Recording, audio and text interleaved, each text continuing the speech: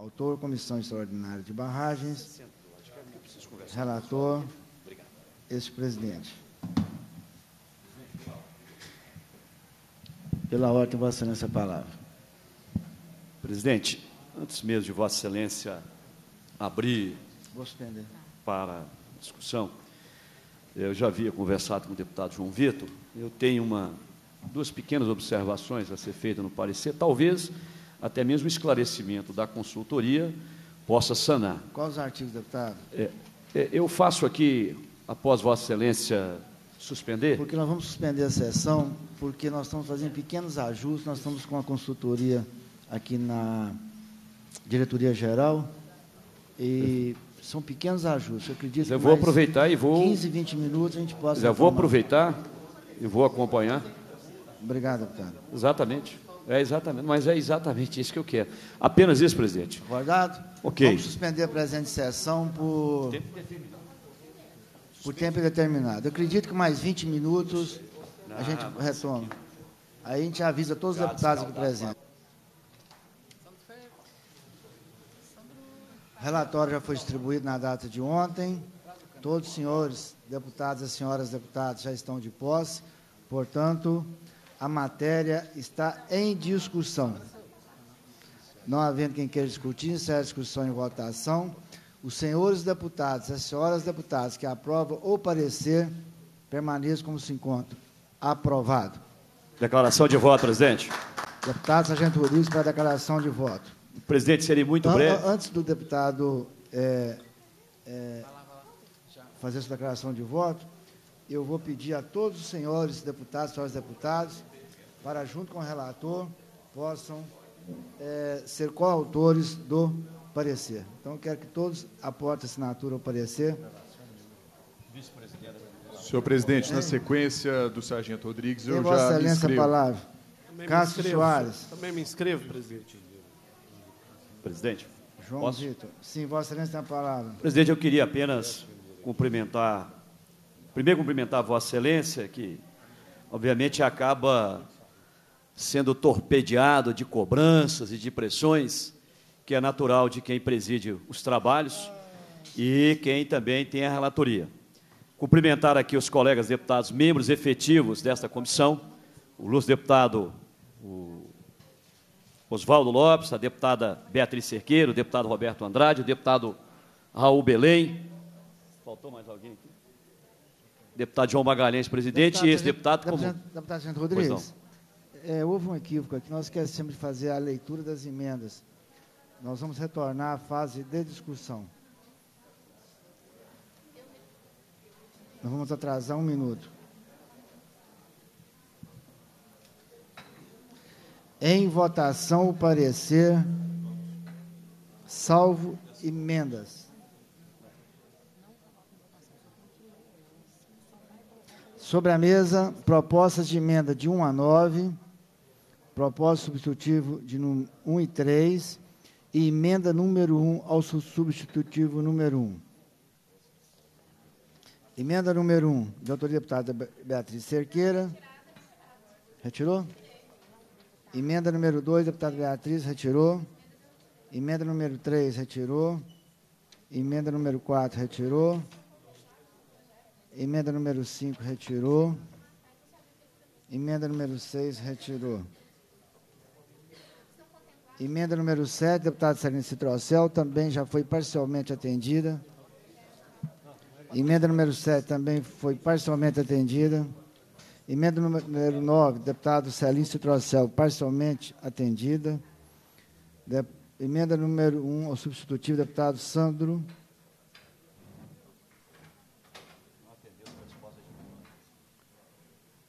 Essa também foi atendida? Foi? Também foi atendida. Propósito substitutivo do deputado João Vitor Xavier.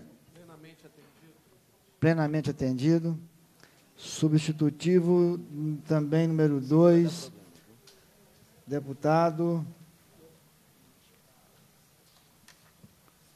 De quem que é? De quem que é esse? Estão rolando uma briga que não é só comigo, não. Tem muito deputado disposto a comprar. Gustavo Santana também já foi atendido. E do professor Cleiton também atendido. As minhas também foram. As minhas Essa também presidência foram, informa presidente. que as propostas estão contempladas no parecer. A matéria já foi votada, então vamos à declaração de voto. Tem Vossa Excelência a palavra, deputado Sargento Rodrigues. Agradeço, presidente. Havia cumprimentado os membros efetivos da comissão. Passo, inclusive, a cumprimentar os demais colegas deputados que aqui compõem, o deputado João Vitor Xavier. Agradecer a presença da doutora Gisele, luz promotora, também que aqui componho. A Gianina, que aqui representa. Gianine, que aqui representa é, os movimentos sociais aqui e todo o trabalho que foi realizado ao longo de muito tempo dos movimentos sociais, das ONGs em defesa do meio ambiente. Eu é, tenho aqui absoluta convicção, senhor presidente, que foi um trabalho feito às muitas mãos, inclusive de outros colegas deputados que participaram. Alguns outros queriam dar uma participação maior, mas neste momento não haveria tempo hábil para se inserir tanta coisa numa proposta de lei. E eu tive a, a, a, minha participação, presidente, foi de colaboração nesse processo, de observação, de tentar ajudar a fazer o máximo possível. E todos nós aqui estamos saindo vitoriosos, todos. Mas é óbvio que é, a pressão exercida pelo conjunto da sociedade foi fundamental para que esse projeto pudesse avançar. Foi fundamental. E infelizmente, infelizmente, eu falo isso com muita tristeza, muita tristeza. Tem hora que o povo vem, tem que vir para dentro da casa, é, é, gritar aos quatro cantos para serem ouvidos pelo conjunto da Assembleia. Falo isso com tristeza. Nós conseguimos, a, chegamos a um consenso, uma, eu diria aquilo que eu vou repetir aquilo que eu disse mais cedo e disse ontem, numa proposta de lei muito avançada, segundo o nosso representante do IBAMA, né, deputado João Vitor, né, talvez a mais avançada do país neste momento está sendo apresentada à sociedade. É óbvio que tudo isso poderia ter, ter, ter sido feito antes. Não foi feito, estamos conseguindo corrigir nesse momento. Mas, esse aqui é um passo. É um passo muito importante, a aprovação aqui na comissão, nós já aprovamos, e será um passo fundamental a aprovação em plenário. Mas tem um outro lado. Nós estamos trabalhando aqui para entregar uma legislação que não resolve todos os problemas. Nós teremos uma legislação muito boa, mas nós temos mais de 300 vítimas de uma tragédia criminosa anunciada lá em Brumadinho, que ocorreu na data do dia 25 de janeiro. E eu estou, presidente, perplexo, perplexo com as palavras ditas pelo líder de governo nesta casa, o deputado Luiz Humberto Carneiro. E aqui quero deixar um recado duro ao líder de governo. Se Vossa Excelência está falando em nome do governador, que vai tentar abafar essa CPI, olha, o senhor terá muito trabalho. Que essa CPI hoje não é de um deputado. Essa CPI é do conjunto da sociedade. A sociedade exige a instalação da CPI. Porque, infelizmente, os maus costumes e o lobby das mineradoras continuam dentro da Assembleia. Continua batendo na porta do governador. Olha, deputado João Vitor, essa manchete aqui, a Assembleia foca multas e deixa CPI da lama para o Congresso. O Congresso está distante de todos nós. O Congresso está lá em Brasília. Quem está aqui a 50 quilômetros, a menos de 50 quilômetros, onde aconteceram os fatos, são os deputados estaduais. Eu vou começar agora a ter um discurso mais contundente. Não param, não param. E se as coisas continuarem nesse ritmo, a gente vai começar a dar nome. Nós vamos começar a dar nome. Porque essa palavra aqui, dita pelo deputado Luiz Humberto, afirmou ontem que a CPI da lama não é prioridade na casa e ele agora o esforço deve ser do projeto. O projeto será aprovado. Eu quero ver qual desculpa esfarrapada será apresentada. Porque em intérprete de lei, o parágrafo 4 do artigo 112 do regimento interno está sendo mal interpretado pelo presidente da casa. A interpretação é recebido o requerimento, o presidente despachará. Só que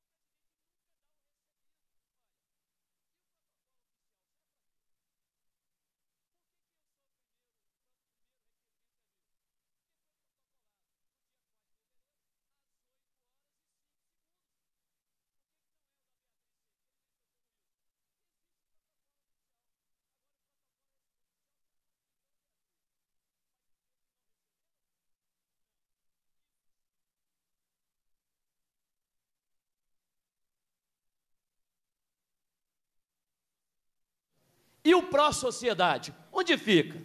Onde fica a visão na defesa do conjunto da sociedade? Em segundo plano? Em terceiro plano? Nós temos uma tragédia criminosa e que somente uma CPI montando uma força-tarefa, inclusive com a presença do representante do Ministério Público compondo a força-tarefa, será capaz de romper os obstáculos políticos que o inquérito, que o delegado não chega ao segundo degrau do inquérito. Eu já participei de outras cinco CPIs nessa casa, sei exatamente o que eu estou falando. Tem gente que teme a CPI, sabe por quê, deputado João Vitor? Porque a CPI tem poderes de autoridades judiciais próprias. Ela não passa pelo crivo da presidência nem da mesa. E aqui o deputado Alencar da Silveira Júnior, com todo o respeito que eu tenho a ele, meu colega de partido por muito tempo, diz o seguinte: ainda segundo o deputado, a CPI não foi instaurada, pois a questão ainda não foi discutida no âmbito da mesa. Mesa não discute CPI, a caneta é do presidente. Eu também já fui integrante da mesa.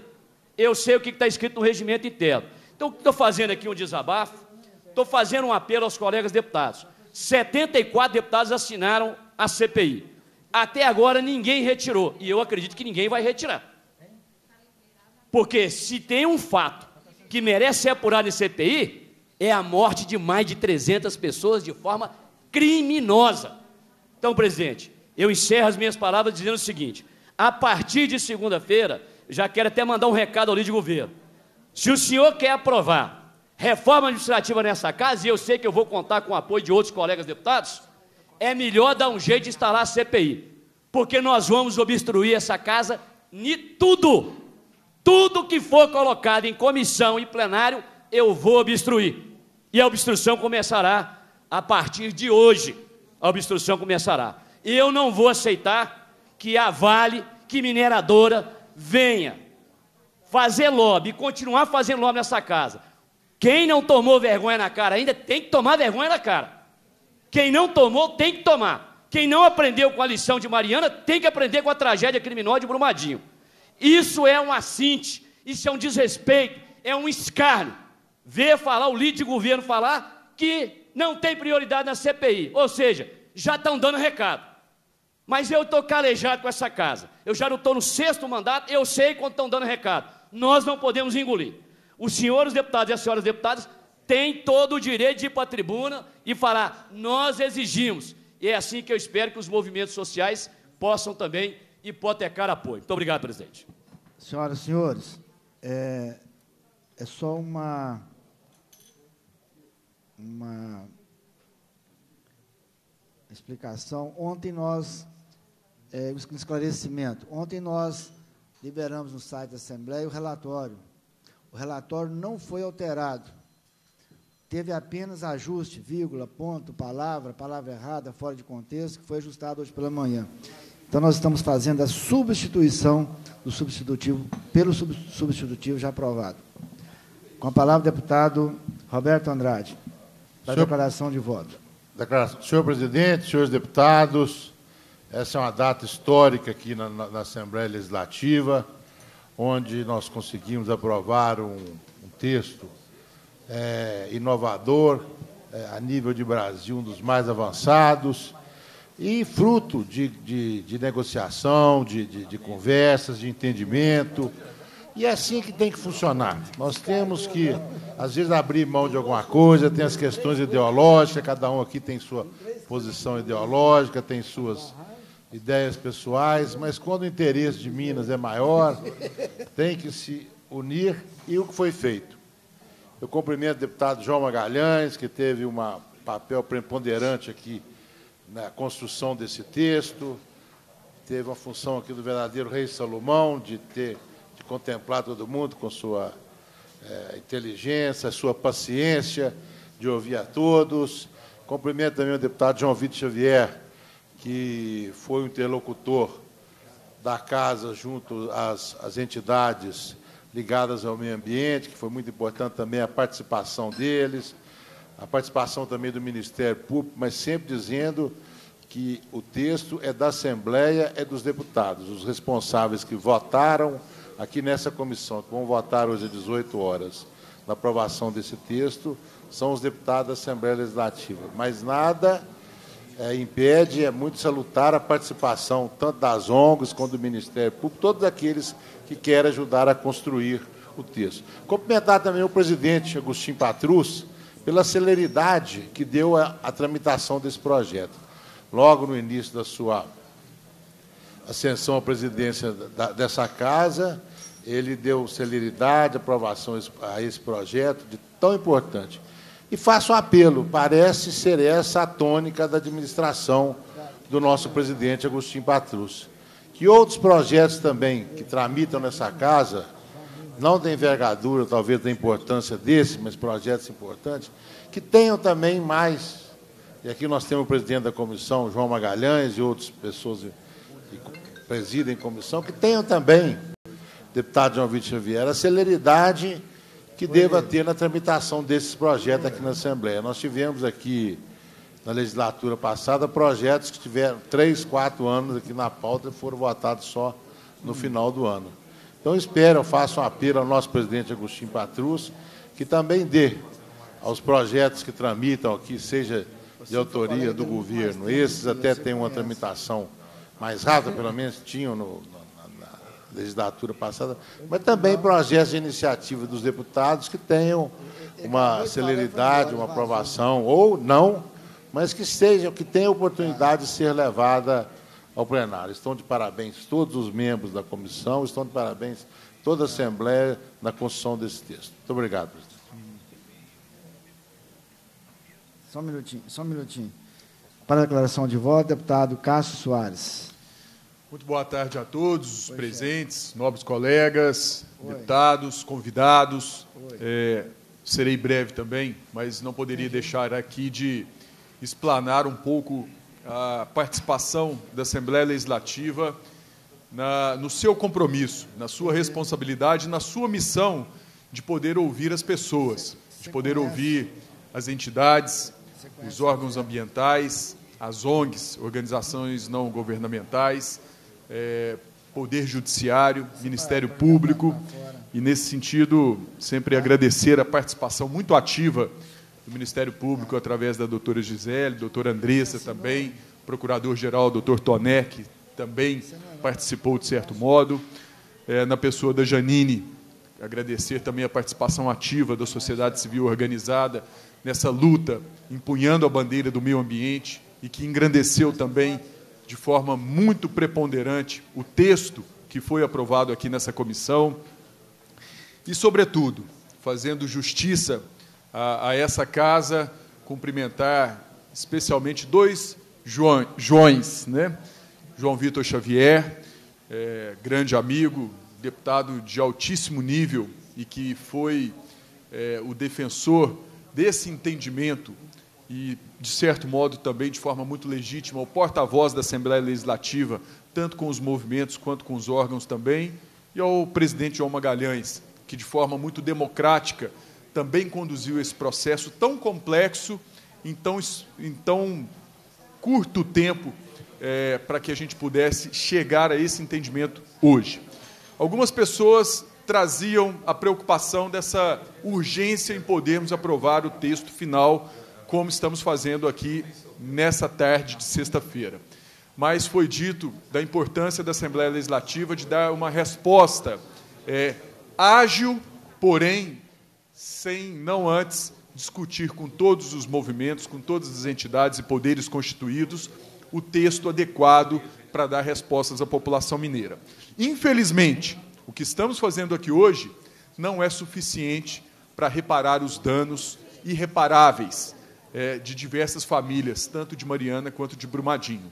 Mas nós podemos ter um horizonte à frente, considerando que temos mais de 700 barragens em Minas Gerais, para que outros desastres, outros, outras tragédias não venham assolar aí vidas humanas e trazer uma dor irreparável a diversas famílias mineiras.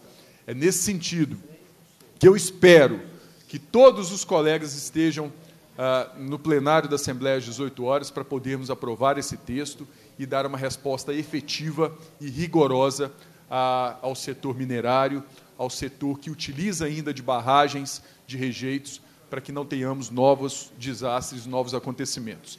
Então, senhor presidente, é, eu digo que temos grandes desafios nesse novo mandato que se inicia, mas sem sombra de dúvida vamos conseguir dar à população mineira as respostas adequadas conforme ela espera de nós políticos. Muito obrigado, senhor presidente. Obrigado, deputado. Para a declaração de voto, deputado João Vitor Xavier. Presidente, é, antes até da, da, minha declaração de voto, quero fazer um registro aqui. Recebi agora a ligação do deputado Luiz Humberto Carneiro, nosso colega deputado, que pede para registrar que certamente houve uma má interpretação do que ele disse. Ele disse que deu uma entrevista ontem é, falando sobre a questão da cidade de Brumadinho, com a presença do prefeito de Brumadinho aqui, mas que ele, de maneira alguma, se opõe à CPI, que ele assinou a CPI, que ele está favorável a que seja ele apurado de o processo. Também, fazendo essa e aqui eu faço esse registro pela pessoa do Luiz Humberto. Quero fazer um outro registro público, que no final de semana, quando estávamos com problema em Nova Lima, e, e recebi a ligação do vice-prefeito da cidade me pedindo a intermediação junto ao governo do Estado, o deputado Luiz Humberto, foi extremamente correto, republicano, prestimoso comigo, com a cidade de Nova Lima, nos ajudou em tudo que precisava e tem tido uma postura de tanta correção que ele hoje, no momento do fechamento desse projeto, ele sequer participou da reunião para que não se desse a impressão de qualquer interferência por parte dele, não como deputado, que sempre era legítimo, nem como líder de governo, que também era legítimo, mas ele não quis é, haver nenhuma interferência no fechamento do texto final. Então, fica aqui é, o reconhecimento também à palavra do deputado Luiz Humberto, que é um homem de bem, é um bom colega e tenho certeza que somará esforço com todos nós. Presidente, eu queria fazer alguns agradecimentos no momento dessa aprovação. Eu quero agradecer ao presidente da Casa, deputado Agostinho Patrus, foi extremamente correto conosco durante todo esse processo, que assumiu um compromisso conosco de abraçar o projeto que foi construído pela sociedade e que foi melhorado pela Assembleia Legislativa. Muito obrigado ao deputado Agostinho Patrus. Foi extremamente correto, corajoso e mostrou que será um presidente da Assembleia independente. Mostrou coragem, mostrou postura, mostrou posição. E estou muito orgulhoso, deputado Agostinho, de tê-lo como presidente da Assembleia pela postura que o senhor teve numa das causas mais difíceis da história de Minas Gerais. Quero agradecer ao senhor, deputado João Magalhães, como presidente dessa comissão. Sei que o senhor sofreu muitas críticas, muitas delas injustas, porque eu tenho que ser testemunha aqui de que quando o projeto chegou na Comissão de Minas e Energia no ano passado, Vossa Excelência me chamou no meu gabinete e me disse o seguinte: deputado João Vitor, é, considero que a Comissão de Minas e Energia seja a comissão adequada para tratar do tema. O que o senhor fizer na Comissão de Minas e Energia, pretendo replicar na Comissão de Administração Pública. E assim o senhor se conduziu até o exato momento que o texto foi fechado, encerrado, me convidando, inclusive, para participar de todos os passos, permitindo que tudo aquilo que a gente defendia fosse abrigado, e eu tenho a absoluta convicção de dizer para a sociedade que tudo que eu defendo, que eu acredito, que eu aprendi com o Ministério Público, que eu aprendi com os movimentos ambientais, que eu aprendi com o IBAMA, que eu aprendi com outros colegas, como, por exemplo, o deputado Bosco, que foi nosso vice-presidente na comissão durante o projeto, está aplicado aqui. Está aqui nessa lei que hoje essa casa vota. Eu quero agradecer a todos os deputados dessa comissão de administração pública, deputado Raul Belém, deputada Beatriz, deputado Oswaldo, deputado Sargento Rodrigues, deputado Roberto, que também tiveram uma postura de absoluta correção, sem nenhuma vaidade. Todos eles certamente teriam muitas e boas ideias para contribuir e abriram mão de contribuir com essas ideias para que a gente tivesse a celeridade necessária de votar o projeto e entregar a Minas Gerais uma proposta de lei adequada para o setor. Muito obrigado recebam o nosso reconhecimento, porque com a capacitação que cada um tem, poderiam é, ter disputado espaço de apresentação de muitas propostas e preferiram a construção do bem maior, então fica aqui o nosso reconhecimento, o nosso agradecimento. Quero agradecer a dezenas de colegas que se manifestaram solidários a nós desde o ano passado, quando discutíamos esse projeto na Comissão de Minas e Energia, e esse ano, colegas que entram para o primeiro mandato, que me procuraram logo no início do mandato, dizendo que estariam alinhados conosco para que esse texto pudesse ser votado, da forma que está sendo votado hoje. E quero fazer um agradecimento muito especial. Quero agradecer muito ao Ministério Público do Estado de Minas Gerais, doutora Gisele, quero que a senhora leve o meu abraço mais afetuoso e mais fraternal à doutora Andressa Lanchotti, ao doutor Francisco Generoso, que foram parceiros fundamentais na construção desse processo. Quero que o senhor leve meus cumprimentos a toda a equipe do Ministério Público, desde a antiga equipe que assumiu o caso é, durante o processo de Mariana, até a equipe que conosco construiu o substitutivo da Comissão de Minas Energia, que na verdade nada mais é do que o projeto Mar de Lama do Ministério Público e que foi 100% abrigado pelo coletivo dos deputados da Assembleia nesse parecer. Então, a vontade do povo de Minas, expressa por vários organismos, foi acolhida pelos representantes do povo de Minas em sua inteireza até aqui. Quero agradecer muito às entidades ambientais. Está aqui o Poliano, está aqui a Janine, está aqui o Rogério. Não está aqui a Teca nesse momento, porque ela está na reunião do Copan, brigando contra a mineração da Serra da Piedade. É uma guerreira, é uma lutadora, uma batalhadora Agradeço a vocês tudo que vocês me ensinaram nesse processo. Eu não sou engenheiro, não sou técnico de mineração, não sou formado em mineração. E o que eu pude contribuir foi com o que eu aprendi com vocês. É, e dizer que a vitória que a sociedade civil conquista nessa casa hoje é certamente a maior vitória dos movimentos ambientais de Minas Gerais em todos os tempos. E essa não é uma frase minha, essa é uma frase do superintendente do IBAMA, Júlio Grilo, que me disse ontem. João Vitor, tenha a tranquilidade que a Assembleia de Minas votará no dia de amanhã o melhor projeto do Brasil para, os, para o tempo. O mais completo, o mais rígido, o mais rigoroso, o mais bem preparado. Quero aqui registrar a contribuição importantíssima do IBAMA de Minas Gerais. O Júlio, que também não está aqui, porque participa da mesma reunião do COPAN, sobre a questão da Serra da Piedade. Quero cumprimentar cada um dos quase 60 mil mineiros que assinaram o projeto Mar de Lama Nunca Mais. Todos esses 60 mil mineiros estão representados no texto que a Assembleia de Minas deu tom final a ele. E quero dizer que na política a gente só consegue construir quando tem a tolerância, a convivência, a paciência, a dedicação de todos todos os deputados da Assembleia Legislativa, de uma maneira ou de outra, diretamente, através de ideias, propostas, discussões, ou indiretamente, num momento como esse de hoje, pela celeridade necessária, deputado Rogério Correia, muitos contribuem não fazendo o debate, permitindo que seja votada uma proposta que tem origem na iniciativa popular e legitimada pelo povo de Minas. Dia de muitos agradecimentos Agradeço muito ao deputado Cássio Soares, que, como líder de bloco, nos ajudou com o presidente da casa e fez por esse deputado, que infelizmente não tive sequer da liderança do meu bloco. Muito obrigado, deputado Cássio Soares. Agradeço ao senhor e ao seu bloco pelo acolhimento que tiveram da minha proposta. Muito obrigado. Agradeço aos deputados do meu partido, que no ano passado me permitiram ser presidente da Comissão de Minas e Energia e que me permitiram, como presidente, dar essa, esse parecer e abrigar a proposta que nos foi enviada pelos movimentos sociais, pelo IBAMA e pelo Ministério Público. E cumprimento aqui os deputados também que compartilharam comigo desse trabalho na comissão. O deputado Bosco, que foi meu vice-presidente, que sempre foi muito parceiro, correto. O deputado Leonídio Bolsas, que era nosso companheiro. O deputado Lerim, que infelizmente já não está mais na casa e a mais dois deputados que também quero aqui fazer justiça e agradecer. O deputado Cristiano da Silveira, que esteve conosco no dia da primeira tentativa de votação do parecer e que naquele dia poderia ter votado conosco e se colocou ali, disponível e solidário para votar.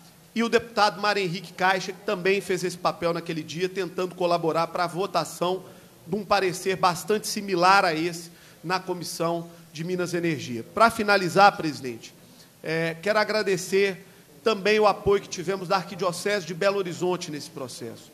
Dom Valmor foi um parceiro de primeira hora, nos ajudou muito nessa batalha, com todos os bispos auxiliares, padres, com toda com todo o corpo da Igreja Católica de Minas Gerais. E agradecer aos deputados, que foram 11, não vou conseguir citar a todos neste momento, mas vou aqui na pessoa do deputado Ulisses Gomes, que é líder da minoria, de quem também tive muita solidariedade nesse processo, e o deputado Arlen Santiago, que me acompanharam, e na pessoa dos dois eu simbolizo todos que estiveram naquela manhã ou, e naquelas reuniões na Arquidiocese de Belo Horizonte. Presidente João Magalhães, muito obrigado por tudo. Serei eternamente grato e reconhecido e um defensor público da sua postura de correção nesse processo.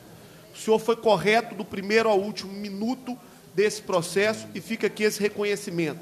Minas Gerais deve à Assembleia Legislativa, à Vossa Excelência, ao presidente Agostinho Patrus, aos 77 deputados, ao Ministério Público, aos movimentos sociais, ao IBAMA, aos 60 mil mineiros que assinaram o projeto Mar de Lama Nunca Mais, o fato de hoje termos a melhor legislação para barragens e para mineração do Brasil sendo votada nessa casa.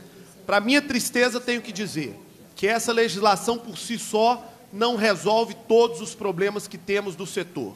Precisaremos ainda aperfeiçoar outras legislações importantes para a casa e que, de maneira indireta, impactam nessa questão. Teremos que votar, ainda teremos que dar outros passos no futuro.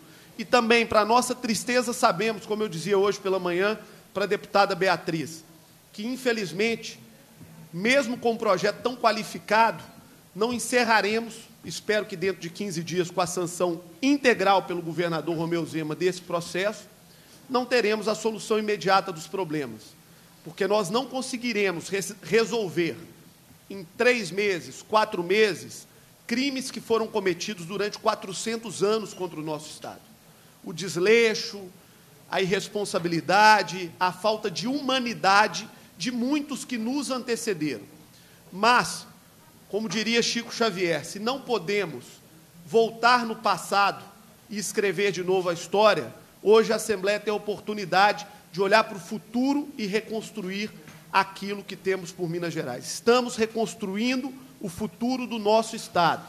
E tenho certeza que o primeiro projeto votado pela Assembleia nessa legislatura é um dos melhores projetos já votados por essa casa parlamentar em todos os tempos, em todas as matérias, e certamente será um dos projetos mais importantes desses quatro anos que teremos pela frente. Muito obrigado a todos pela oportunidade. Obrigado, deputado.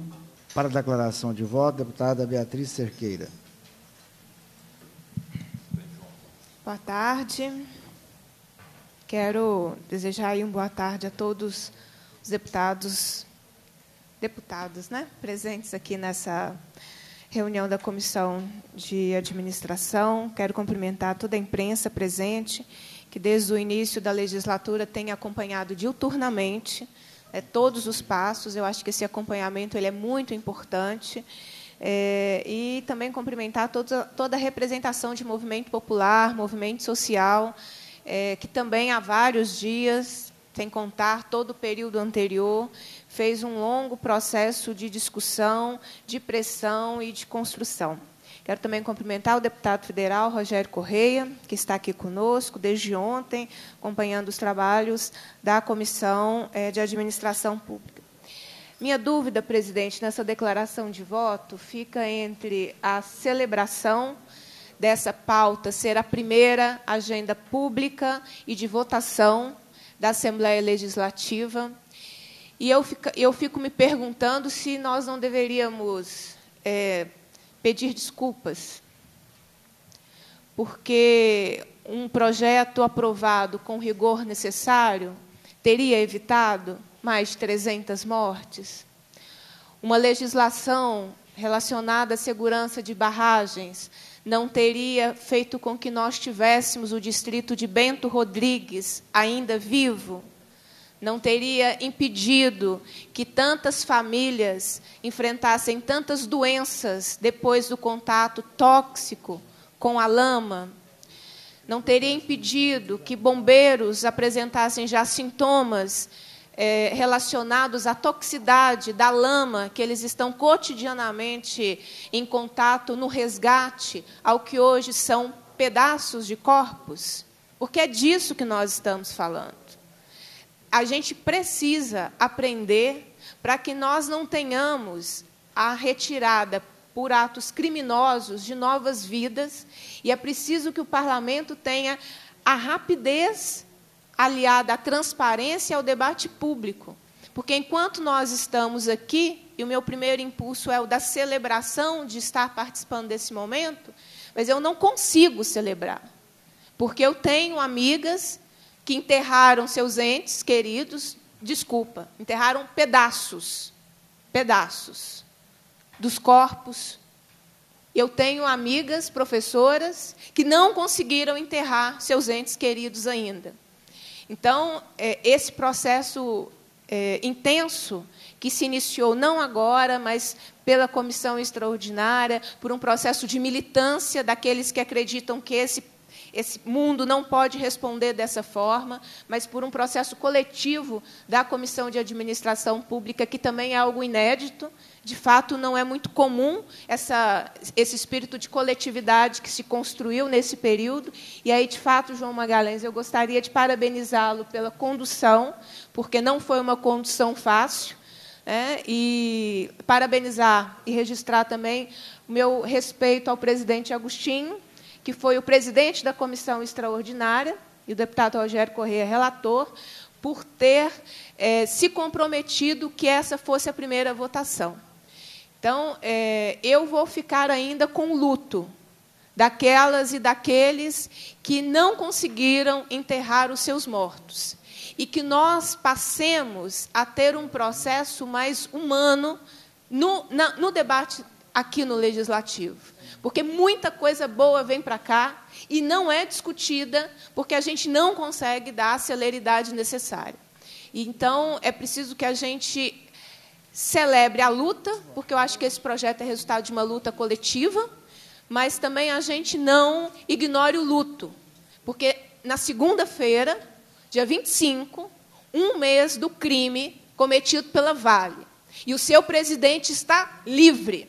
E o presidente da Samarco está livre. E todos os anos a gente vê esses presidentes criminosos fazendo a distribuição dos dividendos. Estão todos ricos, estão todos bem, estão todos com as suas casas limpas, sem lama. Enquanto milhares de famílias ficaram sem água quando a bacia do Rio Doce foi atingida. Milhares de famílias nunca mais terão as suas vidas de volta, porque além daqueles que morrem, além da mulher que abortou na lama em 2015, no resultado da tentativa de salvar a sua vida, as pessoas continuam com o impacto da mineração, continuam adoecendo, entram em depressão, suicidam, os núcleos familiares se dissolvem, as crianças não compreendem.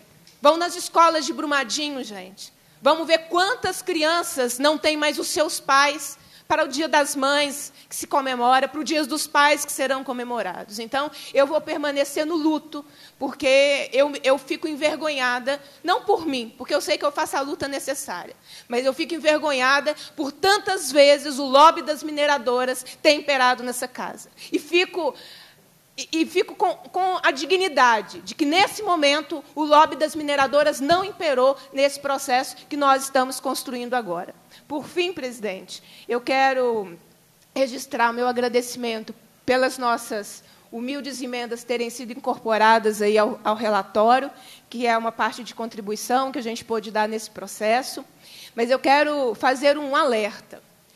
Nós discutimos a segurança, o limite, o impedimento de empreendimentos. Agora, a Assembleia tem que cuidar dos homens e mulheres que estão atingidos pelas barragens. Desse, dessas pessoas nós não cuidamos nesse projeto.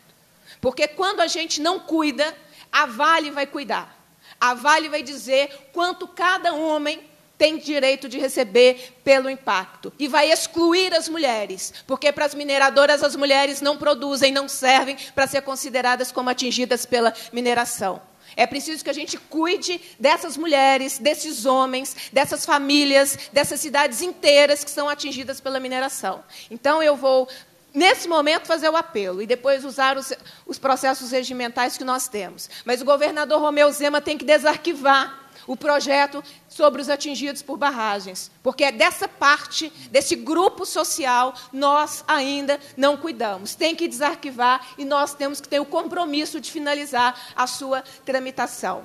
Por fim, quero também reafirmar meu compromisso com a CPI das mineradoras, que, na minha opinião, deveria ter acontecido em 2015, porque a CPI é o melhor a melhor resposta legislativa, de investigação. Sei que nenhum governo gosta de CPI porque é um lugar que ele não controla. Não me interessa. A gente tem que apurar responsabilidades. Esse projeto cuida do futuro, mas da criminosa reincidente tem que ter uma CPI das mineradoras que possa cuidar disso. E faço um último apelo, presidente, para que nós possamos, o mais rápido possível, discutir uma parte que não está nesse projeto, porque não era objeto desse projeto.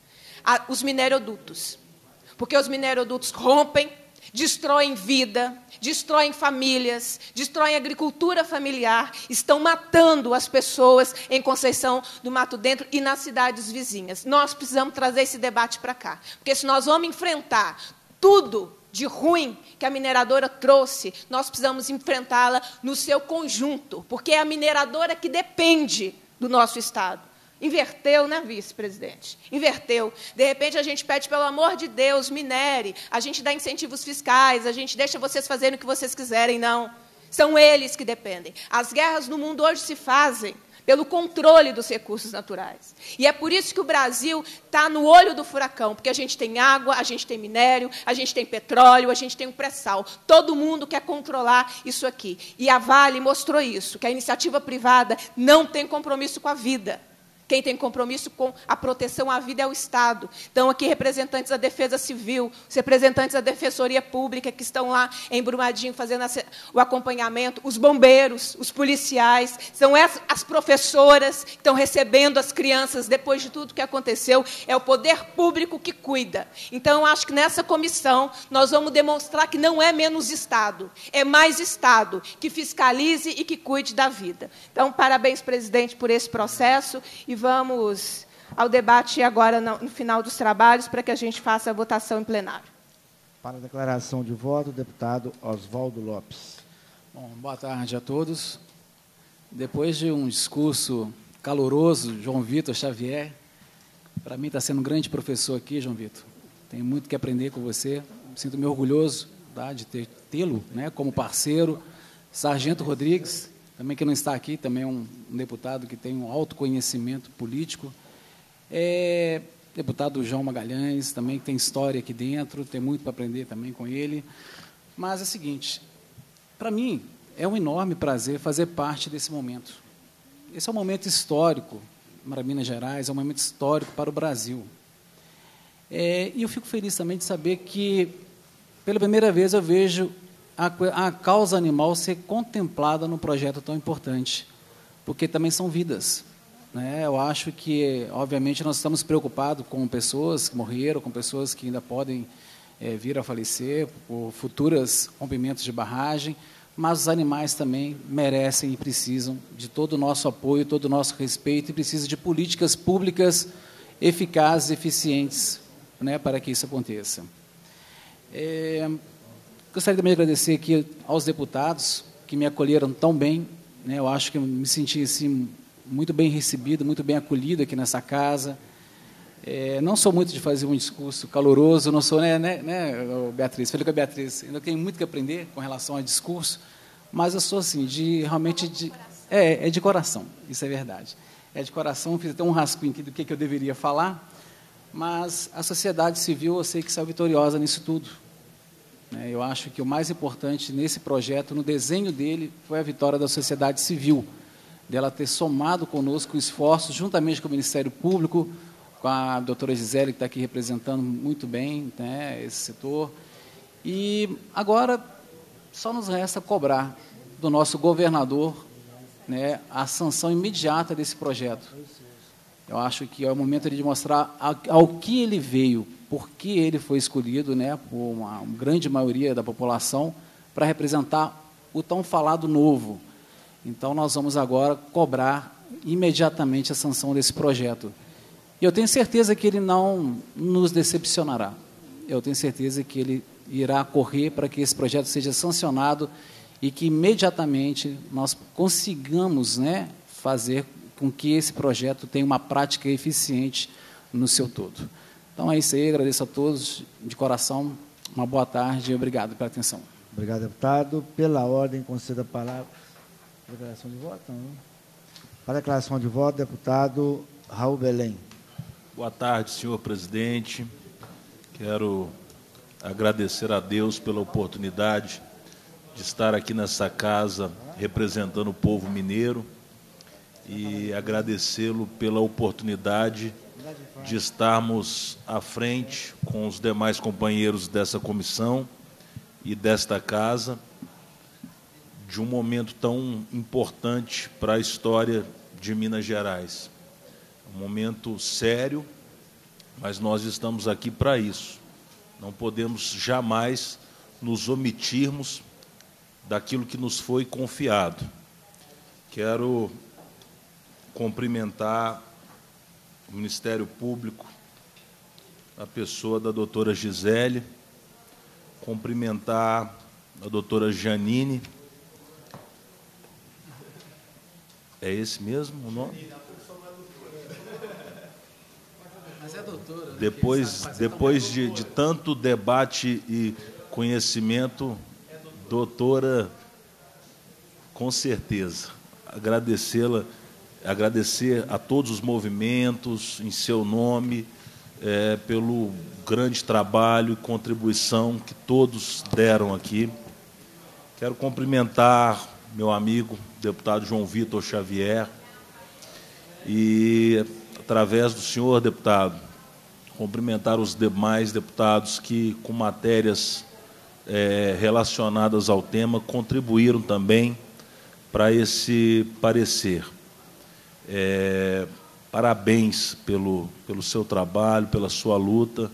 A gente sabe que você se dedicou muito junto com, com a sociedade e eu admiro muito o parlamentar que faz isso, né? que vai ali para para as bases, para discutir os projetos. Afinal de contas, não faria sentido algum nós estarmos nessa casa se não fosse para defender os interesses do povo. Né? E como disse aqui é, o Sargento Rodrigues, o deputado Sargento Rodrigues, a, as mineradoras, os empresários, eles chegam a galope aqui nessa casa para discutir os seus interesses.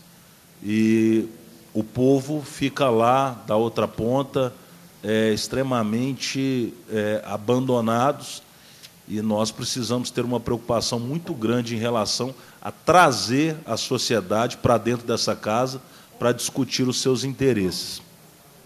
Quero aqui é, agradecer ao IBAMA também, que teve um papel importante né, através da sua contribuição. É, o Ministério Público, que é, deu sim a sua, a sua contribuição, apesar que a gente sabe que o MP é, é, é bem claro é, em relação à nossa é, autoria aqui da, das leis, mas é, eu fico muito feliz que a gente possa trabalhar em conjunto, né, num momento de extrema responsabilidade, né, e a experiência que vocês têm, o corpo técnico que vocês têm, somado ao dessa casa, que também é importante, nos ajudaram muito a ter essa, essa matéria elaborada. Quero agradecer aos meus colegas de comissão, a deputada Beatriz Cerqueira, o deputado Leonídio Bolsas, o deputado Oswaldo Lopes, o deputado Roberto Andrade, o deputado Sargento Rodrigues. Quero aqui cumprimentar os de demais deputados que estão presentes, deputado Glaicon Costa, meu presidente do partido, deputado Noraldino, deputado federal Rogério Correia. Muito obrigado pela presença de Vossa Excelência aqui nessa casa que o senhor trabalhou tanto né, e agora está na esfera federal, lá defendendo os interesses do povo mineiro. Enfim, é, eu agradeço ao senhor, presidente, viu, pela, pela sua abertura, é, por ter conduzido de uma forma extremamente democrática, dialogando com todos nós, viu? Parabéns pela, é, pela postura, viu? Eu fico muito feliz em estar é, é, é tendo essa oportunidade de, de, de ser membro de uma comissão presidida por Vossa Excelência e dizer que nós encontraremos vários outros desafios. Não podemos esquecer jamais das pessoas que foram a, afetadas é, por essas tragédias ocorridas em Minas Gerais. É, com certeza a população aguarda é, uma resposta é, mais é, é, forte em relação a essa ocorrência, em si a essa tragédia. nós estamos começando uma, uma pavimentação para o futuro, para que isso não aconteça novamente. Mas é extremamente importante essa casa, como fiscalizadora, representante do, do, do, do povo, nós instalarmos a CPI aqui. Dizer da minha posição extremamente favorável, dizer que é preciso sim nós é, trazermos a essa casa, nem que seja no laço, né, as pessoas que são responsáveis por essa tragédia. Isso não pode ficar adormecido de maneira alguma, e eu tenho absoluta convicção né, que praticamente 100% dessa casa assinou a CPI. Né, e nós precisamos dar essa resposta para as famílias dessas vítimas, para o povo mineiro, que a Assembleia está agindo e vai agir de uma forma muito consistente, né, para que nós possamos buscar aí é, a punição dos responsáveis por essa catástrofe. Presidente, eu quero aqui, uma forma de contribuição, é, dizer que muita, muita coisa na, no, no vosso parecer é, nós estamos aqui amarrando ao, ao CISEMA, que é responsável por, por fiscalizar é, esse órgão do, o órgão do Estado que é responsável, responsável por fiscalizar. E está aqui nessa comissão também a reforma administrativa que enfraquece demais esse sistema. Então, nós não podemos esquecer que agora nós precisamos reforçar o CISEMA, porque nós estamos aqui com, com parecer pronto, que vai ser aprovado logo mais pela casa, onde nós damos plena é, é, é, é, força e poderes ao CISEMA de fiscalização. Então, na reforma que chegou aqui na casa, que eu estou estudando, o CISEMA está sendo muito enfraquecido. E nós não podemos deixar. Nós precisamos fortalecer o CISEMA para que o nosso parecer e o projeto seja realmente eficaz para que cumpra o seu objeto. Muito obrigado, viu, presidente? Obrigado a todos os colegas, obrigado é, à população presente, à imprensa, obrigado a todos. Obrigado, deputado. Vamos segurar a palavra a todos, mas rapidamente vamos passar de fase, só para aprovar um requerimento, enquanto nós ainda temos quórum. Passa-se a segunda fase, discussão e votação, votação de proposições que dispensa apreciação do plenário. Requerimento 154-2019, turno único, requer seja encaminhado ao governador do Estado pedido de providências para que seja efetuado o repasse dos valores em atraso devido ao município de Brumadinho. Autores, deputado Gustavo Valadares, deputado Cássio Soares, deputado Salvo Souza Cruz, deputado André Quintão, deputado Ulisses Gomes, deputado Inácio Franco e deputado Luiz Humberto Carneiro. São todos os líderes da casa. Em votação, requerimento. Os senhores deputados e as senhoras deputadas que eu aprovo maneira como se encontram, aprovado. Pela ordem, conceda a palavra ao deputado Noraldino. Senhor presidente, senhores membros dessa importante comissão, deputados presentes, membros da sociedade civil organizada, Ministério Público. Senhor presidente, primeiro eu quero manifestar aqui a minha alegria em hoje poder dar um ponto final nesse importante projeto. Projeto esse que eu já havia feito compromisso com o proponente, João Vitor, de estar apoiando, não só com o proponente, mas também com os membros do Ministério Público. Órgão este que eu tenho profundo orgulho de manifestar aqui, porque eu posso relatar que grande parte das conquistas da comissão da qual eu presidia é, até o final da legislatura passada, tivemos inúmeras conquistas, grande parte das conquistas foram realizadas em parceria e em conjunto com esse importante órgão.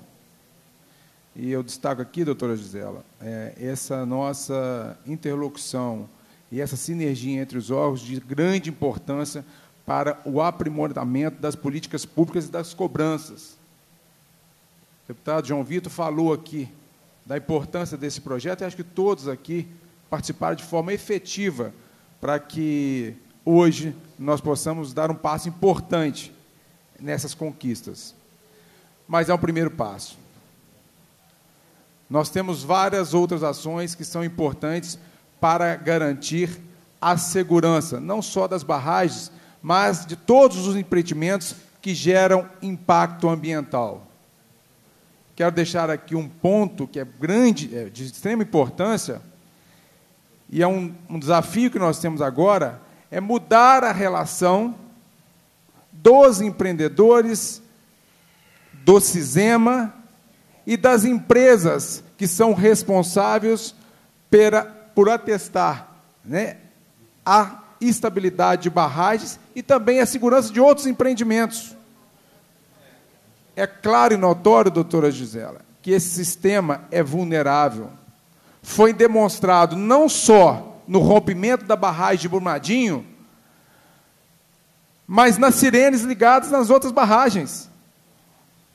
Ou tem alguém ingênuo aqui que vai pensar que a estabilidade das barragens teve alguma alteração antes do rompimento da barragem de Brumadinho e após o rompimento? Lógico que não.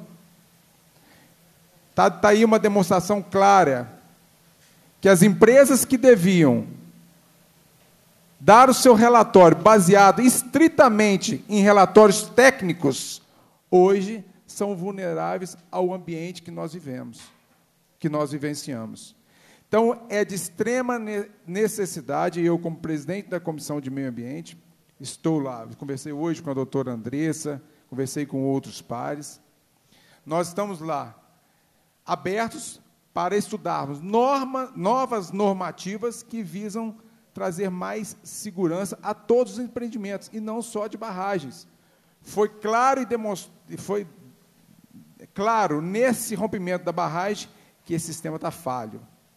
O Brasil hoje não tem maturidade para esse sistema funcionar. O poder econômico falou mais alto, e nós tivemos lá 300, mais de 300 vítimas. Sem dizer os animais. O deputado Oswaldo falou aqui, e eu cheguei e fiquei três dias direto, deputado Oswaldo, em Brumadinho, junto com os bombeiros, junto com a Defesa Civil, Também junto com lá, voluntários, hoje. Fazendo resgate dos animais. Resgate esses que foram negligenciados inicialmente. E nós tivemos que entrar com uma ação para garantir que toda a vida que tivesse possibilidade de ser resgatada fosse resgatada. Infelizmente, presidente, Tivemos ainda ações da Polícia Rodoviária Federal que exterminou de forma irregular animais que estavam lá esperando há dias para serem resgatados. E foi lá de forma irregular, de forma cruel, e matou os animais que estavam esperando por um socorro. E já está sendo providenciado as denúncias de acordo com, com os fatos. Ressalto também, presidente, a importância da argumentação que o deputado Raul Belém trouxe aqui. Nós estamos aqui prestes a votar a reforma administrativa. E na análise que nós fizemos do projeto da reforma administrativa, nós detectamos, e aí pedimos a interação de todos os deputados, uma fragilização no sistema de fiscalização do CISEMA. Uma clara demonstração de fragilização na parte de fiscalização do sistema que deveria ser aprimorada.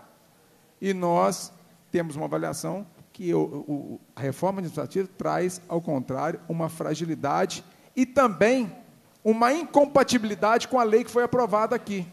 É, deputado presidente João Magalhães. Para se ter uma ideia, o, a 21972 estabelece que o secretário executivo do COPAN é o secretário adjunto de meio ambiente. E na reforma administrativa está extinto o cargo de secretário adjunto sem se posicionar quem que vai assumir a secretaria adjunta e a presidência das câmaras é, no COPAN.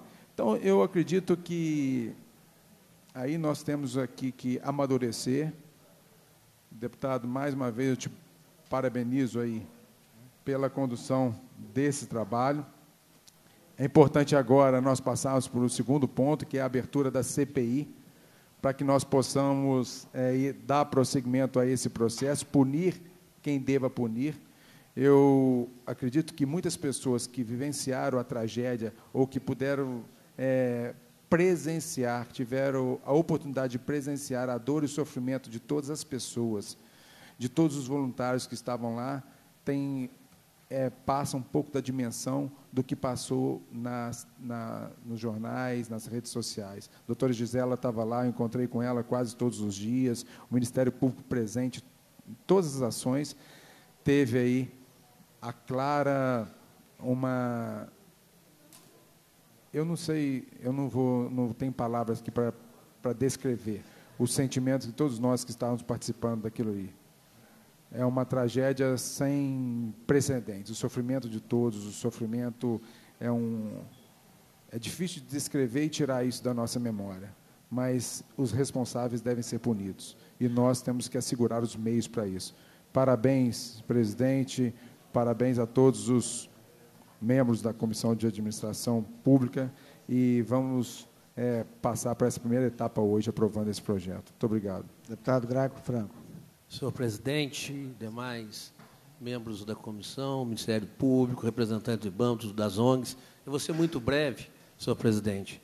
Primeiro, eu gostaria de cumprimentar aqui em especial o deputado Rogério Correia, que no mandato passado, juntamente com o nosso presidente da Assembleia, deputado Adalcleve Lopes e deputado Agostinho, de pronto é, criou-se, com a aquiescência dos membros do Poder Legislativo, da época, os nossos deputados, a Comissão Especial das Barragens. E é bom que se diga, nós estávamos lembrando aqui, o deputado Rogério, que outras barragens já tinham sido rompidas no passado, antes de Mariana. Poucas pessoas não recordam disso. E foi a sensibilidade dos deputados na gestão, no mandato passado, que começou e iniciou esse debate nessa casa. Então, nós temos que dar de César o que é de César. Foi aperfeiçoado na Comissão do Meio Ambiente, melhorado ainda mais na Comissão é, de Minas e Energias, capitaneado pelo nosso deputado amigo João Vitor Xavier, e hoje, dia 22 de fevereiro de 2019, né, deputado Rogério, nós criamos o um novo marco da mineração, principalmente no que se refere a licenciamento e fiscalização no Estado de Minas Gerais, que, mais uma vez, deputado Rogério, sai na vanguarda em relação aos demais estados. Mais uma vez, é pioneiro nessa questão, dando um exemplo para todo o Brasil. Então, deputado João Magalhães, parabenizo pela sua serenidade, pela sua tranquilidade e aos membros deputados que debruçaram dioturnamente. O nosso deputado presidente, é, Agostinho Patrus, que parou essa casa, colocou todos os servidores, todos os deputados, toda a consultoria, para que a gente chegasse hoje nesse consenso, que é o projeto Mar de Lamas Nunca Mais.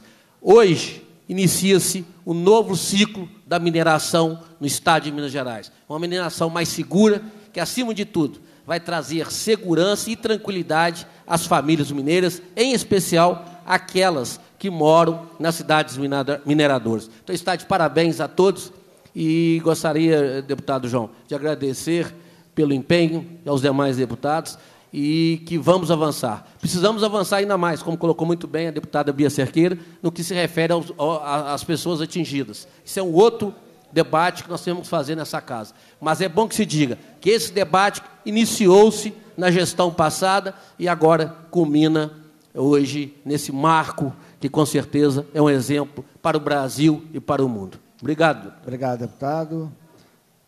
Pela ordem, deputado federal Rogério Correia. Obrigado, presidente, pela deferência.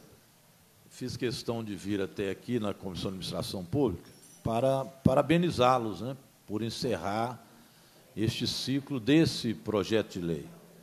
Encerrar de forma brilhante e, com certeza, uma resposta que a sociedade mineira estava esperando.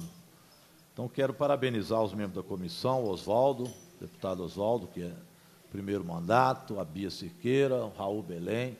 Eu costumo brincar que eu estou ficando mais velho, então os deputados que vêm sucedendo já foram os pais dos meus colegas, né? agora vem o Raul Belém também aí, cujo pai já foi presidente da Assembleia Legislativa. Nessa época eu ainda não era deputado, mas de vários outros eu estive também com os pais deles aqui, né, João Magalhães?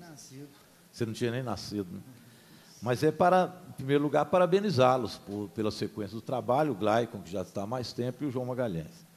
É, dizer que a Assembleia Legislativa, após o crime, é, cumprimentar também o Ministério Público pela presença, as entidades da sociedade civil, também aqui presentes na reunião.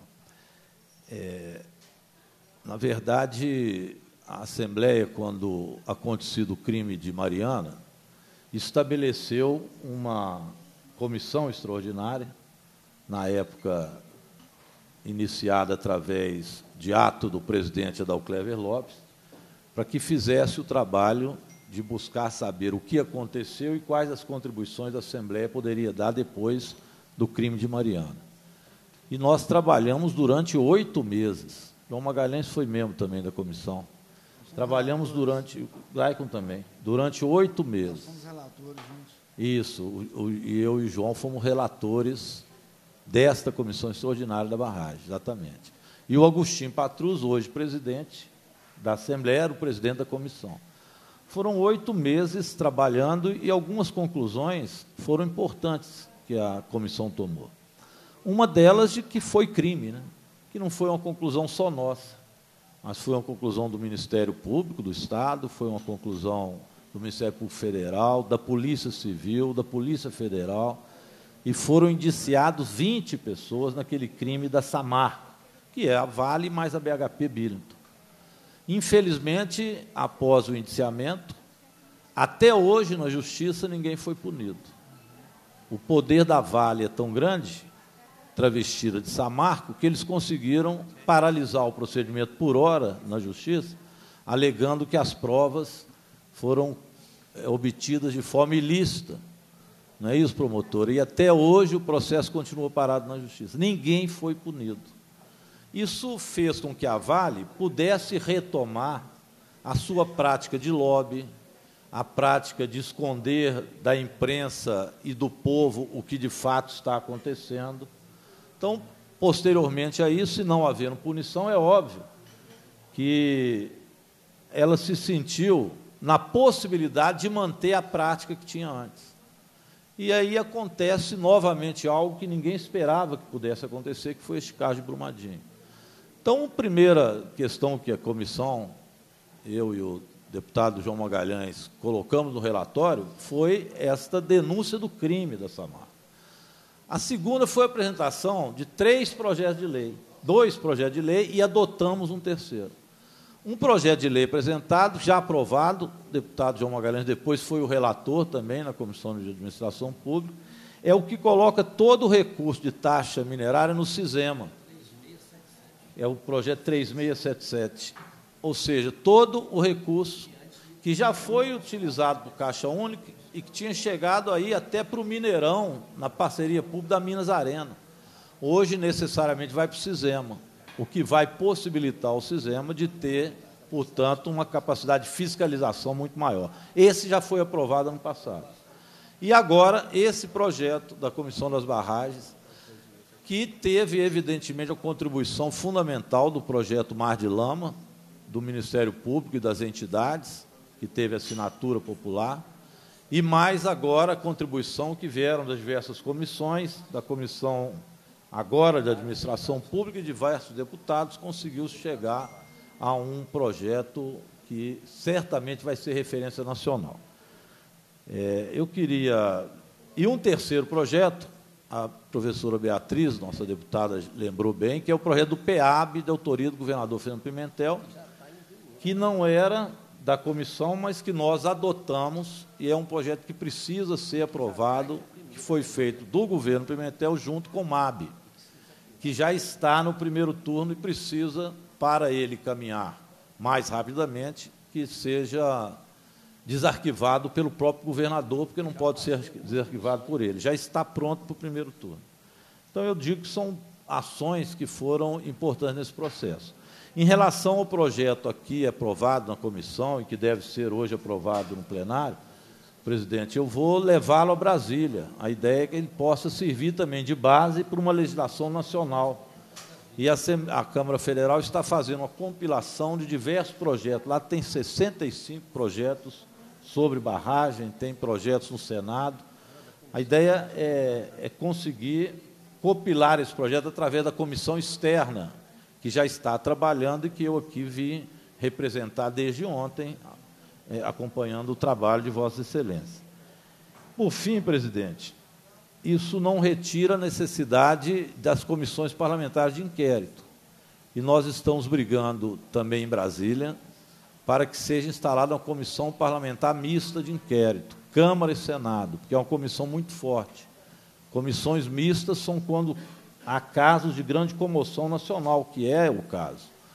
E nós esperamos que semana que vem possamos conseguir as assinaturas, nós conseguimos já através da bancada mineira, para instalar uma comissão parlamentar mista de inquérito também no Congresso Nacional, para que não se repita a mesma eh, questão que ocorreu com Mariana, que foi a impunidade. Porque se a impunidade prevalecer, não tenham dúvidas, se retoma esse mesmo procedimento que foi colocado pela, pela Vale, através da Samarco, durante esse período. E, por fim, presidente, nós estamos também com uma iniciativa de rediscutir a questão da mineração como um todo, inclusive do seu papel estratégico. A privatização da Vale, do Rio Doce, se mostrou é, não, não útil e, pelo contrário, se mostrou com um efeito nefasto para Minas e para o Brasil. A Vale não só não paga imposto, a lei Candir estabeleceu isso no ponto de vista de CMS, e o fez exatamente para que pudesse haver a privatização e a empresa, que depois se transformou em Vale, pudesse ter o lucro que tem sem pagar imposto, como também o Brasil passou, parou de pensar uma forma de minerar do ponto de vista estratégico, com industrialização ao invés disso, é apenas exportação de matéria-prima. Não se pensa a forma de minerar que seja, é, do ponto de vista ambiental, defensável, por exemplo, a seco, ou outros métodos que existem. Prevaleceu apenas a sede e a vontade do lucro. E por isso a barragem mais barata, que é a montante, se estabeleceu em Minas Gerais, que é um verdadeiro absurdo, que está proibido, né, nesse projeto agora aprovado, e que estará proibido pelo que eu fiquei sabendo também, foi incorporado uma emenda, agora mais recente, que já proíbe qualquer tipo de mineração nas barragens que estão a montante, mesmo as que existem, e que, é, não, não podendo mais, elas têm que apresentar também um plano de desativação, descomissionamento urgente, que entrou agora também no relatório, inclusive proibindo que qualquer uma das que já existem possa continuar julgando rejeito nessas barragens, o que é também um avanço que não estava contido em nenhum dos projetos anteriores. Mas que o crime de Brumadinho, porque vai se provar que é crime, estabelece também essa necessidade de uma medida de caráter mais profundo, mais radical de proibição desse tipo de barragem. Então, presidente, quero parabenizá-lo, Vossa Excelência, né, também deputado João Vitor Xavier, que se debruçou nesse procedimento, as entidades e a todos e todas né, por essa vitória que nós conseguimos obter depois de tanto tempo de trabalho comum. É, é de se perguntar por que, que não se conseguiu antes, né? Mas é assim mesmo, porque, infelizmente, os lobbies, as pressões, elas existem, mas agora enfraquecidos. E eu disse isso né, aos deputados que era uma oportunidade de, quando aconteceu novamente o crime de Brumadinho, de que se apressasse o procedimento de votação do projeto, porque agora encontra-se com respaldo da sociedade para um projeto mais radical até do que tínhamos condições de aprovar no passado. Então, parabéns a todos vocês, em nome do nosso presidente João Magalhães, e também ao presidente Agostinho, né, que faz justiça, tanto pela atitude dele agora, de colocar como primeiro projeto a ser votado, mas também como presidente da Comissão Extraordinária das Barragens, que durante oito, oito meses trabalhamos em conjunto. Obrigado. Obrigado, Rogério. Concedo a palavra à promotora de justiça, doutora Gisele Ribeiro, coordenadora estadual das promotorias do patrimônio cultural. Obrigada, presidente. Boa tarde a todos. Né? Cumprimento todos presentes na, na pessoa do deputado João Magalhães. É, ao Ministério Público, nessa tarde, é, só resta prestar as homenagens a essa casa, né, à Comissão de Administração Pública, por ter feito a vontade do povo, que foi expressa nesse projeto de lei de iniciativa popular. É, a, como nós já reiteramos várias vezes, a Assembleia é soberana para decidir as leis, né? os senhores são os representantes do povo, mas ao decidir por esse, por esse texto, por essa lei, os senhores atenderam uma vontade que foi feita é, né, através de uma lei de iniciativa popular, de uma lei que foi amadurecida, uma lei é, que foi o desejo da população mineira. Além de prestar as homenagens, é, me cabe aqui fazer um apelo aos demais deputados dessa casa, né, que é, recebam esse projeto e que o aprovem, sem outras mudanças. Foi um texto muito pensado, muito discutido, em cima do qual houve muita briga, né, deputado, muita luta, né, para se chegar a esse texto. Então, é, né, o que me resta hoje pedir aos demais deputados que né, atendam a esse anseio popular e, sem mais mudanças, é, deem seguimento e, e finalmente né, aprovem esse projeto. Né, tenho certeza que tem né, que vários deputados querem contribuir com a lei, né, vários deputados têm essa, essa boa intenção, mas é, é, é um, foi um, um, texto tão pensado, tão discutido, né, que agora acho que urge a, a, vontade de que ele seja finalmente aprovado. Então, muito obrigada a todos. Estaremos juntos aqui hoje às 18 horas, é, com, essa, com esse intuito de vermos finalmente uma, uma legislação, um marco regulatório mais firme, democraticamente discutido, tecnicamente adequado em nossas Minas Gerais. Obrigada. Obrigado. Também concedo a palavra, pela ordem, o senhor Rogério Saraiva do Gabinete de Crise da Sociedade Civil do Movimento pela Preservação da Serra do Gandarela. É, boa tarde a todos, senhores deputados, senhora promotora, amigos da sociedade civil, as pessoas aqui presentes. Bom, tem um documentário na internet muito interessante, chama-se Revolução dos Cocos. Esse documentário, ele eu acho que esse documentário é muito interessante. Fala sobre uma ilha que se chama Bongville, fica na Papua Nova Guiné. Lá a mineração foi para esse local, contrataram todos os moradores daquele local. Só que com o tempo os moradores eles começaram a perceber que eles estavam perdendo todos os seus recursos naturais. E aí eles deram um basta, decidiram não mais trabalhar para a mineração e expulsaram a mineração dessa ilha. Mineiros, mineiros que expulsaram a mineração do seu local para sobreviverem. E por que que chama-se Revolução dos Cocos? É, eles descobriram que através do coco eles poderiam fazer matizes de energia. Então, os carros que, as minera que a mineração de deixaram lá, é, através do coco eles desenvolveram energia, energia elétrica de fontes renováveis. O que eu estou querendo dizer com isso? Estou querendo dizer que tudo é possível. Quando nós chegamos aqui a primeira vez para tentar barrar a primeira tentativa de se votar um projeto que não falava sobre segurança de barragens, e sim era um projeto que estava totalmente concatenado com o setor mineral, minerário, nós somos chamados de bobo, e aqui estão meus amigos aqui que não me deixam mentir. Fomos chamados de extremistas e outras coisas. E estamos aqui aprovando um projeto, que é esse projeto extremista que nos falaram. E aí eu quero fazer uma palavra para o senhor deputado federal Rogério Correia. Que bom. Que bom que o senhor conseguiu enxergar que esse nosso projeto é um projeto bom. Que bom que o senhor vai levar isso para âmbito federal. Porque até no passado a gente nós não estávamos entrando em um bom acordo. Sofremos pressão. Na legislatura passada nós não tivemos a abertura que nós estamos tendo agora. E aí eu quero fazer um agradecimento, agradecer ao presidente dessa comissão, ao presidente da Casa Agostinho Patrus, em especial ao deputado, ao deputado estadual João Vitor Xavier, que desde o primeiro instante não nos abraçou, porque nós não aceitamos abraços de ninguém mas abriu a mesa para conversar. Nos deu total autonomia para falar o que vocês querem.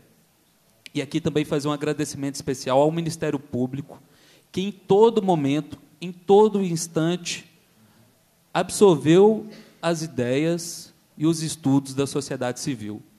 Em nenhum momento teve uma discussão hierarquizada, sempre foi na horizontalidade. E isso que nós esperamos de um debate político, é isso que nós esperamos da Assembleia Legislativa. Não em debate, não um debate vertical, um debate sob hierarquia, um debate que alguns parlamentares no passado tentaram nos colocar sob pressão, e quem hoje fala sobre lobby, talvez nós pensamos que no passado estava sofrendo esse lobby. Então, aqui deixamos o nosso agradecimento também é o nosso repúdio do que aconteceu no passado e esperamos que essa legislatura é, seja uma legislatura totalmente voltada para o meio ambiente. Minas Gerais sofre. Nós é, costuma-se falar que nós somos o único estado que tem um trabalhador no nome, né? Minas de Mineiro. Olha, nós preferimos Minas de Minas de Águas. Nós preferimos rios limpos. Nós preferimos que pessoas não morram. Esperamos que novas tragédias não aconteçam para que a gente possa chegar num texto que não é radical. Se a gente pegar a legislação de outros países, Portugal, Bélgica, entre outros, olha, aí vocês vão ver radical. Aí vocês vão ver uma radicalidade a esse tema. Esse projeto é um projeto hoje que nós aprovamos, que nós participamos e esperamos que todos os deputados estaduais possam voltar, votar a favor e esperamos que o governador Zema também tenha sensibilidade para que não postergue esse assunto por mais tempo. Minas Gerais carece disso. Muito obrigado. Concedo a palavra também pela ordem à senhora Janine Oliveira, do projeto Manuelzão, da UFMG. É, eu vou falar como Fala sociedade civil. Eu vou falar como sociedade civil. É, eu queria dizer o seguinte, que mesmo a gente tendo tido essa vitória aqui agora, que a gente entende que ainda a forma como as coisas estão sendo tratadas, até a própria rapidez com que a gente foi procurado para aprovar esse projeto, ainda não propicia a construção coletiva que essa casa precisa se propor, sabe? É, o que a gente tentou durante os oito meses com o João Vitor que era essa construção coletiva, foi muito truncado por parte do, dos atores que estavam ali intervindo. Então, assim, a forma e, e, e, o tempo com que essa casa lida com a construção que tem que ser colocada como coletiva, ela ainda não está à altura. Ela ainda não corresponde ao que a gente espera de vocês, até mesmo porque vocês representam pessoas. E eu sei qual é a dificuldade de representar pessoas, porque eu também estou aqui sentada representando a articulação do PL Mar de Lama. E quando você representa pessoas, você precisa de tempo. Tempo é, é um, um, uma das matérias fundamentais para se representar pessoas. Então, assim, eu vou agradecer, não parabenizar, porque é obrigação da casa, eu vou agradecer a vocês terem propiciado, sabe, a construção coletiva, mesmo que nesse tempo que eu não concordo e que as pessoas a que eu estou representando também não concordam. E, e vou acreditar que essa mudança de comportamento que eu estou enxergando na casa e na forma como vocês conduziram isso desde ontem, que ela permaneça. Porque, é, como a deputada Beatriz disse, e aí eu queria até voltar um pouco e cumprimentar na voz das mulheres, que Beatriz e, e Gisela tem um pouco acúmulo, mas lá no Muro de Pedra tenho muito a agradecer, no Taquaril. Enfim, é, eu queria agradecer a vocês por terem feito falas que colocaram pontos muito significativos é, que você não vê nas outras falas, né, que são de ordem emocional mesmo e que correspondem a, ao, ao feminino que a gente precisa trazer para dentro dessa casa. E foi irretocável, e de pontos de vista diferentes, sabe? Até com clamor e com uma humildade vinda de setores que a gente tem que reconhecer.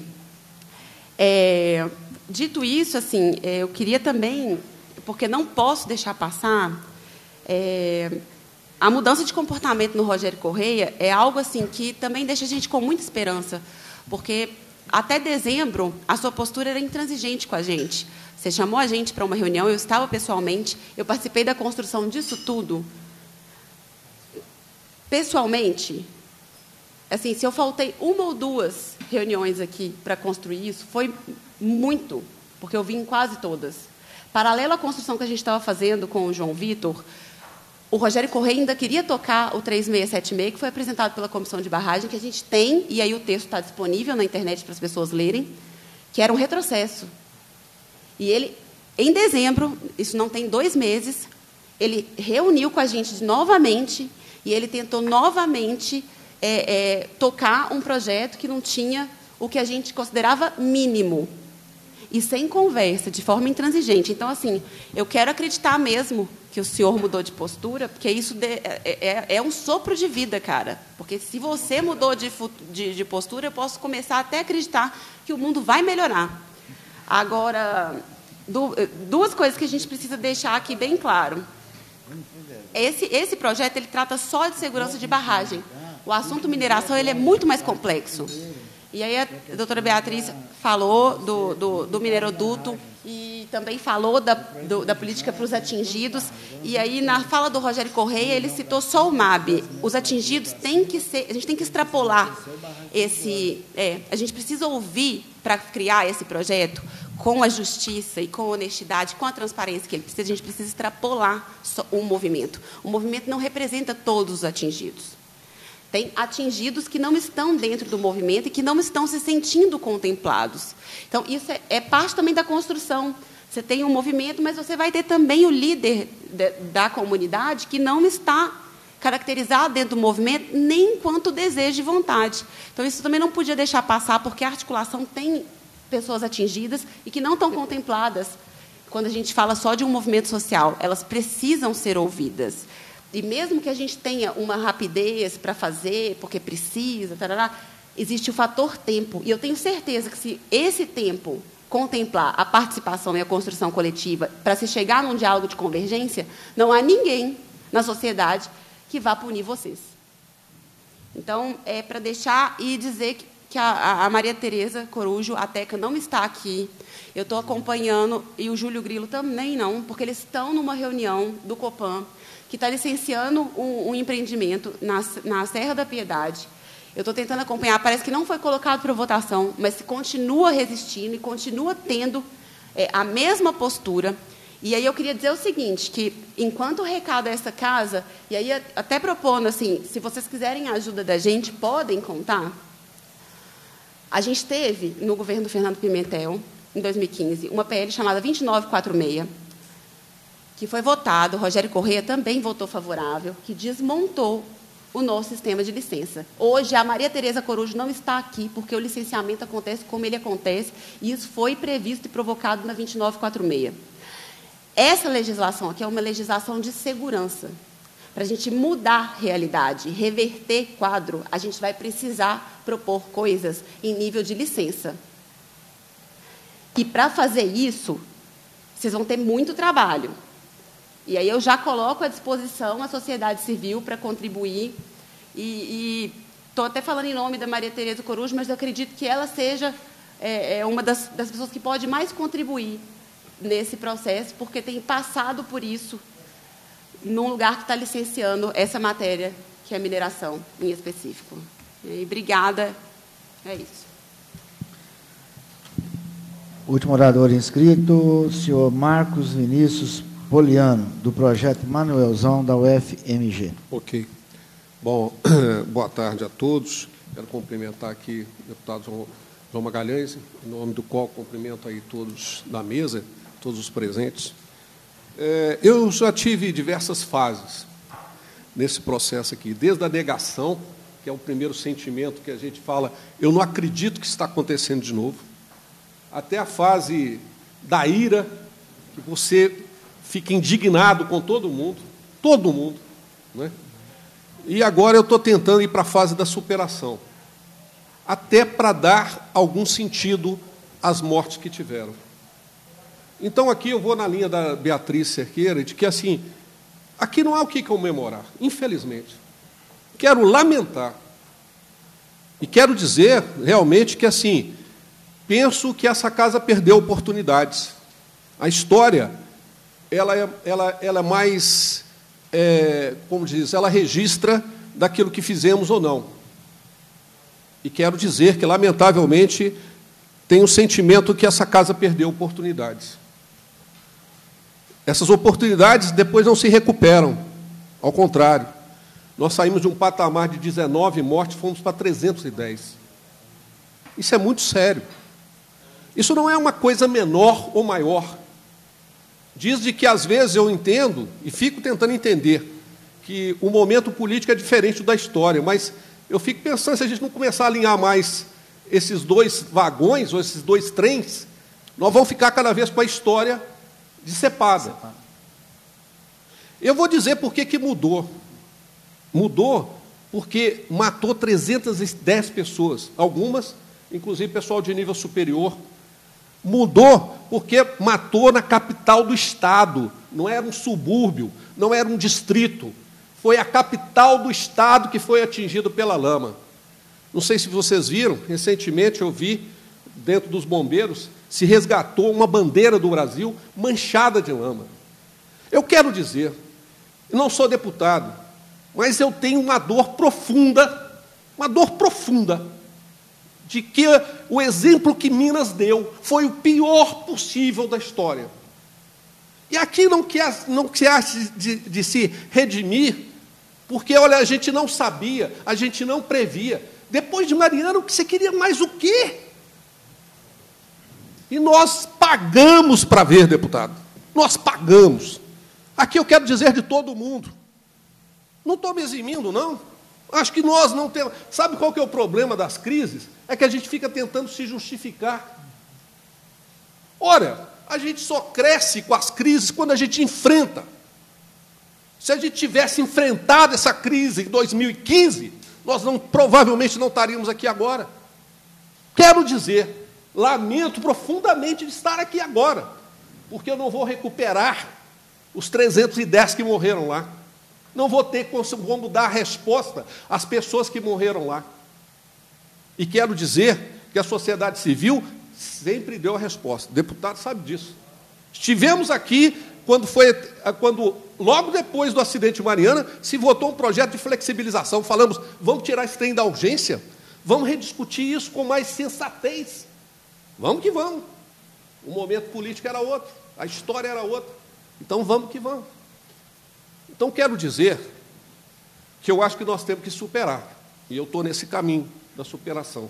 Porque nós temos que construir um novo, né? não do partido novo, é o novo da história, é o novo do momento, é o novo de que nós temos que criar alguma coisa que realmente justifique o porquê de tantas perdas, o porquê de tanta é, é, é, absolutamente iniquidades nesse processo. Né? quero dizer que, se isso tenta recuperar o futuro, não responde o presente. A CPI é fundamental.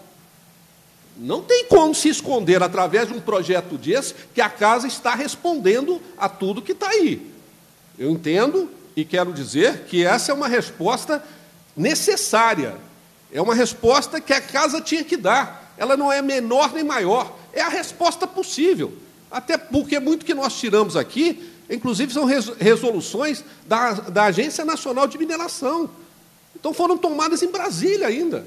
Nós estamos pegando muito daquilo que já foi decidido em Brasília para trazer para cá. Então eu quero só dizer, e na mesma linha dos colegas, que eu acho que nós temos ainda um caminho pela frente. Nós não temos, e aqui eu quero desafiar, no seguinte sentido, nós não temos que ter medo da crise, deputado, e todos os deputados dessa casa. Nós vamos redimir na história se a gente enfrentar lá na Câmara Federal, encararmos realmente de frente todos os problemas que a mineração já trouxe. E como falou aí, quer dizer, o que adiantou a mineração, que é uma das maiores defedoras da União? Como pode ser premiada? E aqui eu quero me espantar aqui com um discurso, quando fala assim, lobby das minerações. Eu queria saber o seguinte: quantos votos cada deputado teve de mineradora? Quem votou nos senhores foi o povo. A satisfação que vocês têm que dar é o povo. Mineradora não vota. Mineradora não vota. Eu fico indignado. Oh, qual lobby? Qual lobby? Eu, por uma questão ética, a gente não pode fazer aquilo que né, é, a gente não tem a capacidade de responder pelos nossos atos. E a gente tem que responder pelo, pelo valor social que nós temos. E a nossa resposta é o povo. Quer dizer, eu não sou deputado, mas os deputados têm que responder ao povo, não a mineradora. Quantos votos a mineradora botou aqui? Mineradora não vota. Pode botar dinheiro na campanha, se for é escuso, né? é ilícito, é ilegal. Então não há que se dizer que a casa hoje aqui está condicionada às mineradoras. A resposta que essa casa tem que dar é o povo. Tá? E quero dizer, mas quero até parabenizar a fala do colega ali, né, do colega, não do companheiro é, deputado, de que ele falou que também nós não vamos resolver isso se a gente fragilizar as estruturas. Ao contrário, foi porque fragilizamos, porque tivemos contingenciamento, porque fizemos uma série de coisas que a fiscalização, o CISEMA esvaziou.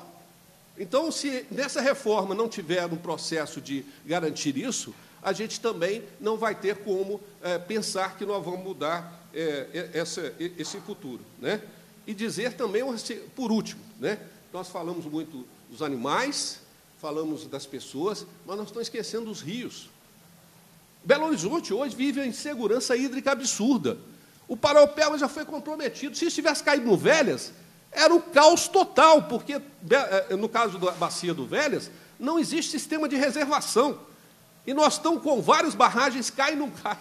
Lá, e o que eu fico eh, admirado, e que aqui a CPI tem que se debruçar, como é que há dois meses atrás, todas essas que estão caindo, tinham um atestado de estabilidade garantido. Você vai pegar lá na Agência Nacional, está tudo garantido, no papel. Como é que hoje está tudo arrebentando por aí? E aqui quero cobrar do Estado. Como é que a mineradora é que controla todo o processo? Ela está indo para a comunidade, tira todo mundo do lugar, sem nenhum plano, sem nenhuma organização. As crianças estão sem, sem ficando sem escola, sem nada, não tem nenhum plano. Eu me pergunto, mas cadê o governo do Estado? Me perdoe, mas eu acho que essa casa tem que se manifestar. É é é a mineradora que desocupa, desaloja, tira as pessoas da, do seu recanto, sequer, sem justificativa, não tem sequer nenhum calendário, nada. Gente, eu quero perguntar essa casa, que aí, não vou ficar assistindo. Eu acho que temos muitas perguntas a responder. Eu quero aqui dizer que a resposta que essa casa está dando é a possível. Mas eu quero dizer que é, é muito mais coisas que precisamos avançar, mas de qualquer jeito quero considerar viu, o esforço, sabendo que, esse, infelizmente, na política existem todas as pressões e contradições, o esforço que eu sei que essa casa está fazendo também no sentido de viabilizar aquilo que foi uma história, como diz aqui os colegas aqui, de luta e de trabalho coletivo. Quero dizer que a sociedade nunca esteve ausente dessa casa. Se ela não foi ouvida, não foi por culpa dela. E aí quero dizer que estaremos presentes aqui, sim, e continuaremos aqui a cobrar posições e a cobrar que essas coisas se avancem para o bem de nós todos e de Minas Gerais. Obrigado, Poliano. Cumprida a finalidade da reunião, a presidência agradece a presença parlamentares, dos senhores e senhoras convidados, todos os presentes. Convoco os membros para a próxima reunião ordinária. Determina a lavratura da ata e encerra os trabalhos. A todos, um bom almoço. Vamos almoçar.